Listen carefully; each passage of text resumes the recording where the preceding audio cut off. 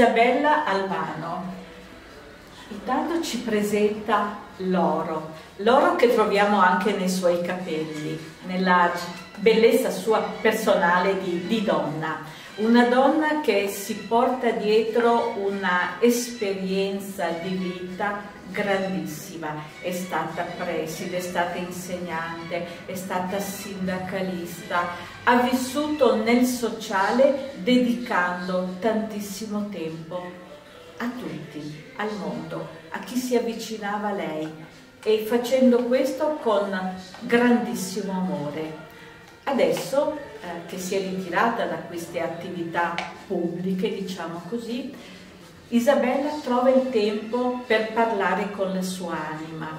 e parla con la sua anima attraverso due modalità, la modalità della poesia e la modalità della pittura. Con entrambe queste due arti Isabella riesce ad eccellere, ma oggi parliamo solamente della pittura, abbiamo questa prima opera con l'iris degli occhi. È un'opera che con l'oro che si trova a circondare questo mazzo dentro a questo vaso che sembra di, quasi di madreperla, la nostra artista ci dà la bellezza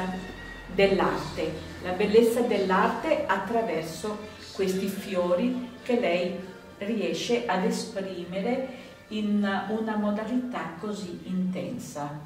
ma una particolare bellezza ha anche lo scrigno, questa opera dove è l'oro a farla da padrone.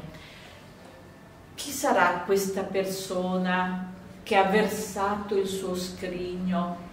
sulla sabbia, sul mare, facciamo un'ipotesi che sia sabbia, perché c'è questo azzurro che ci parla del mare, c'è qualche conchiglia, ma c'è proprio la bellezza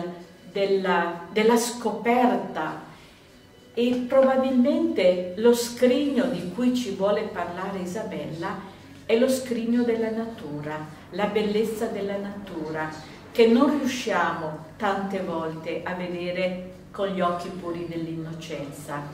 ma che lei presentandoceli ricoperti di oro sembra dirci ehi aprite gli occhi guardate quanto è bello il mondo guardate che scrigni di bellezza la natura ci sa offrire. Grazie Isabella